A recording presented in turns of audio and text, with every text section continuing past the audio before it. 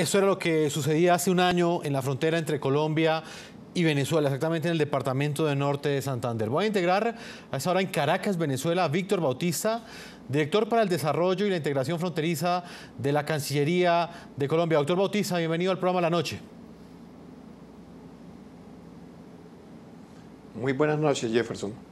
Pues lo hemos invitado porque realmente hace un año tuve la oportunidad de hacer esta cobertura y pude presenciar que usted era uno de los representantes del gobierno colombiano que con mayor, eh, digamos, esfuerzo estaba trabajando en esta zona, no solamente para atender la situación que enfrentaron estos colombianos que fueron expulsados desde territorio venezolano, sino también pues para solucionar, para crear unos puentes diplomáticos con Venezuela, para solucionar esta crisis que un año después parece superada. Por esa razón lo hemos querido invitar, doctor Bautista, eh, y le quiero preguntar exactamente cuál es el diagnóstico que usted hace un año después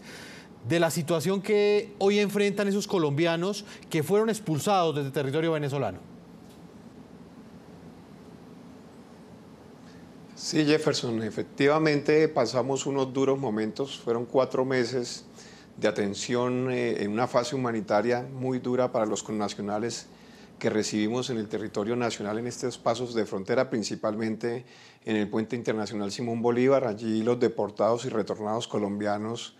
llegaron en circunstancias muy difíciles, en una ruptura de los proyectos de vida que tenían en los distintos lugares donde fueron eh, localizados y esa recepción del, Estado colombiano, de todas las entidades y de todos los eh, habitantes de Norte de Santander que con mucha solidaridad atendimos a estas personas, pues eh, requirieron un esfuerzo muy importante del gobierno nacional y, y de las entidades territoriales de, esa, de esta zona de frontera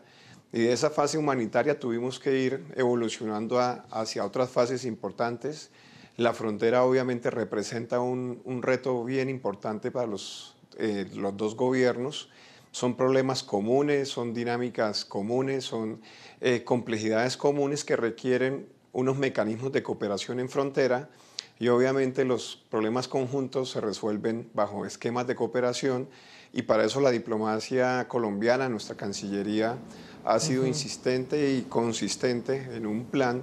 que recoja muchos componentes, desde los componentes de seguridad hasta componentes importantes para el desarrollo social, como son la salud, la educación, la movilidad transfronteriza, el transporte y la misma complementariedad económica de unas zonas que históricamente han estado muy integradas, pero que con el pasar del tiempo eh, han tenido que vivir circunstancias muy difíciles por dinámicas como el contrabando, la presencia de bandas criminales y otras estructuras que aprovechan estas zonas para especular y para hacer eh, una, eh, una presión fuerte sobre esa población fronteriza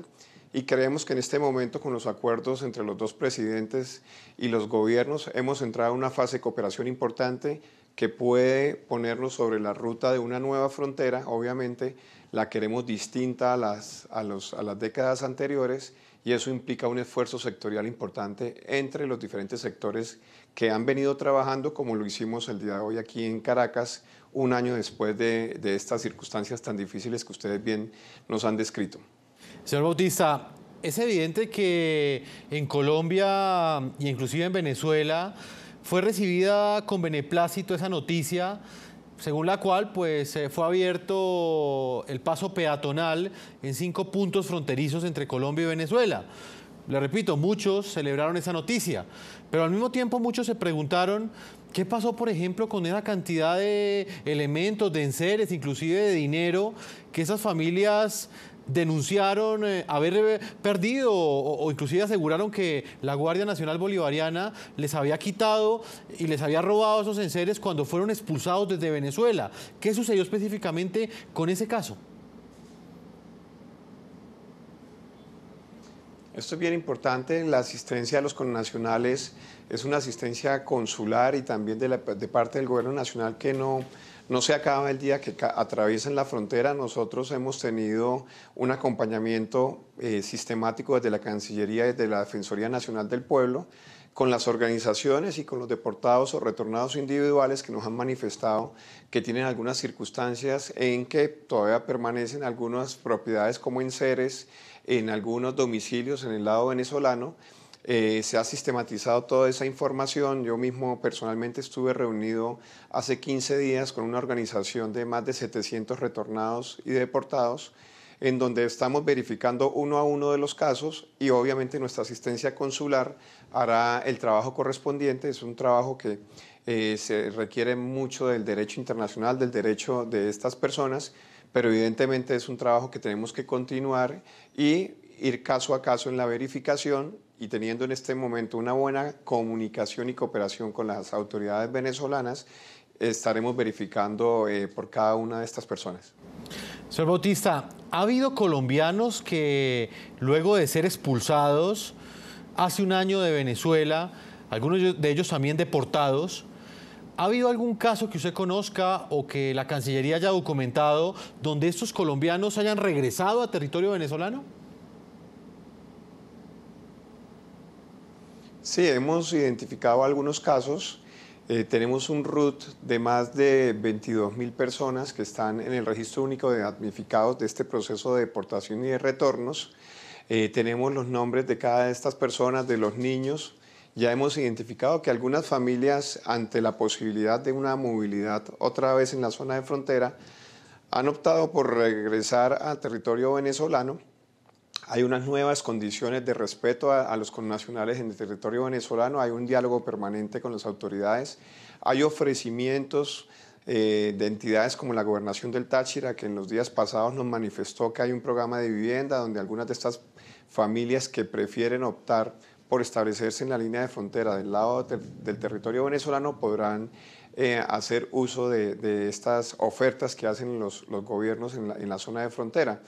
Ya es una libre decisión, eh, le hemos explicado muy bien a la población eh, cuáles son las, las garantías que tienen los ciudadanos colombianos, cuáles son las condiciones de un modelo económico y social distinto al que tenemos en Colombia y ya la libre decisión de las personas de movilizarse de un lado al otro de la frontera pues es, es una decisión de proyecto de vida personal y también de escogencia de modelos políticos, económicos y sociales distintos. Aquí lo importante es el respeto de ambos estados por los derechos humanos, por el respeto a las, a las propiedades y a, los, y a los derechos que adquieren los ciudadanos.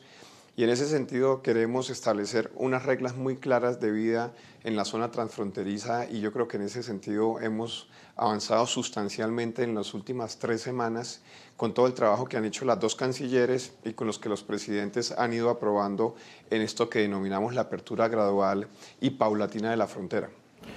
Doctor Bautista, y, sobre ese punto me gustaría que habláramos en el segundo bloque de este programa y es lo que tiene que ver con las condiciones en las cuales se llegó a ese acuerdo entre ambas cancillerías para reabrir la frontera. Hace un año también recuerdo que yo hablaba con usted, doctor Bautista, allá en la frontera, sobre esos casos de alguna manera de xenofobia, eh, al mismo tiempo que fue una decisión del gobierno de Nicolás Maduro expulsar a esos cerca de 20 mil colombianos. Por el otro lado, en ese entonces se hablaba que en algunos sectores de Venezuela se, había despertado cierto odio hacia los colombianos que llegaban a esas zonas fronterizas. En ese punto, ¿qué ha sucedido? No, yo creo que la, la situación ha madurado positivamente, ya no hay esa tensión obviamente de la que eh, se fue objeto en, esos duros cuatro meses que tuvieron eh, eh, el año pasado en la, zona de frontera. Ya hay una movilidad importante. Si vemos las cifras de hoy, con un paso que a veces supera las 40 mil personas en esa zona de frontera del Simón Bolívar,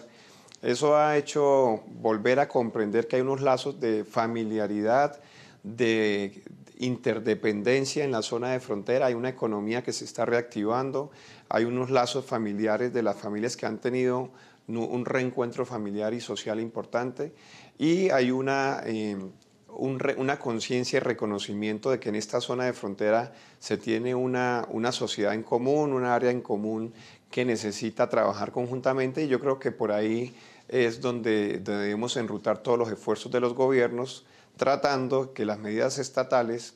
eh, sean claras para la población y beneficien a esa población fronteriza en la cual hay mucho trabajo por hacer y en eso eh, nuestra Cancillería y la Canciller María Ángela Holguín pues ha sido enfática que debemos profundizar un desarrollo social para esta zona de frontera como las demás de todo el país.